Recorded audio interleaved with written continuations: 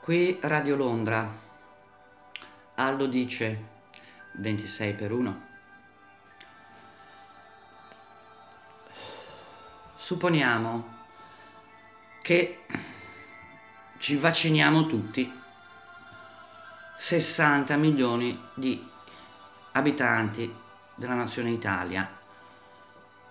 Facciamo questo sforzo di immaginazione e immaginiamo il peggiore degli scenari dal mio punto di vista. Umile.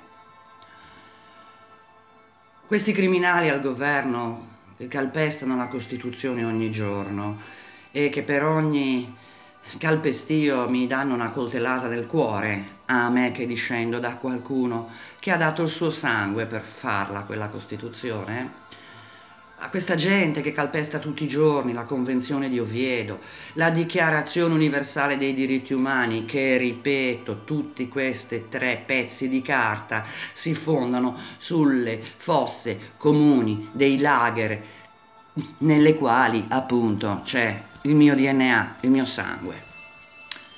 Ma torniamo al punto. Supponiamo che questi cialtroni aggirando la Costituzione, così come hanno fatto con le mascherine, mi impongano, così come mi impongono la mascherina per andare al supermercato, mi impongono il vaccino. D'accordo? Bene. Devono vaccinare 60 milioni di persone. Da qui a quando vaccineranno 60 milioni di persone, non voglio entrare nel merito tecnico del vaccino, io sono qui per parlarvi da Radio Londra in termini politici. Allora, d'accordo, ci vorrà del tempo prima che prendano la pera di Stato e la iniettino a 60 milioni di persone. Bene, crediamo davvero che quando saremo tutti quanti vaccinati, compresi cani, gatti, uccellini, galline, vacche, conigli, andrà tutto bene? Tornerà tutta la normalità? Ma quale normalità? Quella di prima, lo sfruttamento dell'uomo sull'uomo? Pochissimi ricchi e tantissimi comunque miseri? Peones? No, guardate, il tempo che dovrà essere impiegato per vaccinare 60 milioni organizzato da questi cialtroni che sono gli stessi che hanno organizzato la cura del covid a Bergamo, eh? ricordatevelo, ricordatevelo cosa hanno già fatto questi signori, richiederà del tempo. Nel frattempo, che, che loro eh, continuino a impedire i licenziamenti con una legge, le aziende falliscono Siccome io un po' di esperienza ce l'ho, vi dico guardate che in seguito a un fallimento, prima che i lavoratori prendano dei soldi, prima che i fornitori prendano dei soldi, ne passa del tempo. Due anni minimo. Bene, andiamo avanti. Questi vaccinano 60 milioni di persone. Nel frattempo, scorre il tempo, hm? scorre. L'economia eh, va distrutta.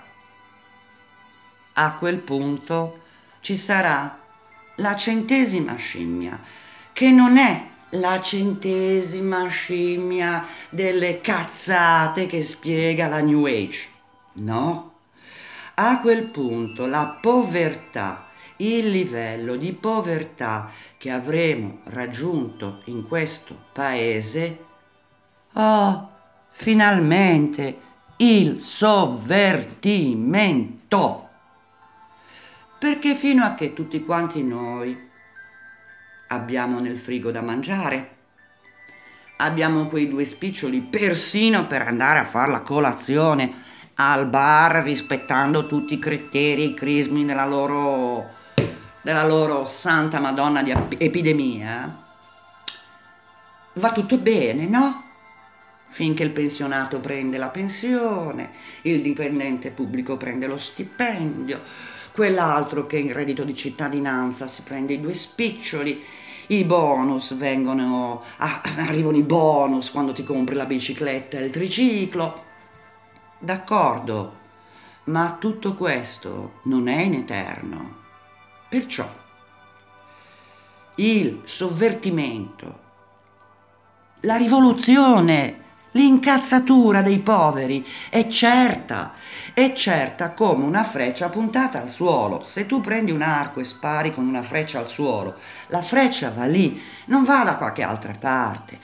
Non c'è bisogno di una sfera magica, non c'è bisogno di avere una laurea in scienze politiche, non c'è bisogno di avere una laurea in economia. Basta il semplice buonsenso che ho io, un'umile casalinga, terza media, signori. Due anni di superiori, tutto il resto università della vita, esami della vita, cento e lode conseguiti ad ogni esame a cui mi ha sottoposto la vita e la vita sta continuando pure a esaminarmi. Non riuscirò mai a dare la tesi finale, forse la tesi finale sarà la morte. Non voglio divagare, torniamo a bomba. Quindi, ci sono degli scenari che ci aspettano in maniera inevitabile, d'accordo? A questa questione economica ne va aggiunta una seconda sulla quale non ce ne stanno parlando. Solo pochissime persone che amano studiare l'astrofisica si stanno interessando a questo tema che si chiama minimo solare. Sto lavorando ai fianchi una persona che conosco, alla quale vorrei fare un'intervista ponendogli cinque semplici domande per cominciare un attimo ad approcciarlo questo argomento. Non esiste solo la cosiddetta scienza medica, esiste l'astrofisica. Perdonatemi se sto qui a darvi lezioni, non vorrei perché a me non mi piace insegnare, a me mi piace solo imparare, ma ragioniamo con calma. L'Italia non galleggia da sola nell'universo, l'Europa non galleggia da sola nell'universo, il pianeta Terra non galleggia da solo nell'universo, è un pianeta di miliardi e miliardi e miliardi e miliardi in una sola galassia di miliardi e miliardi e miliardi di galassie. E questo meraviglioso cosmo che ci circonda ha le sue regole, le sue leggi, che appunto vengono studiate dagli astrofisici. Sta succedendo qualcosa nei cieli, ok? Sta succedendo qualcosa al Sole, sta succedendo qualcosa ai pianeti che ci circondano e sta succedendo qualcosa anche al nostro stesso pianeta sul quale noi ci stiamo. E sapete una cosa? Noi umani siamo il Covid del pianeta Terra. Oibò. Quindi si arriverà comunque alla, al sovvertimento delle cose, si arriverà comunque a un ribaltamento della situazione perché sentite sto respirando inspiro e poi devo espirare, per forza, non posso solo inspirare. Si chiama contrazione, espansione, contrazione, espansione. Così funziona l'intero universo. Contrazione, espansione. Tutto si muove intorno a questo nostro pianeta.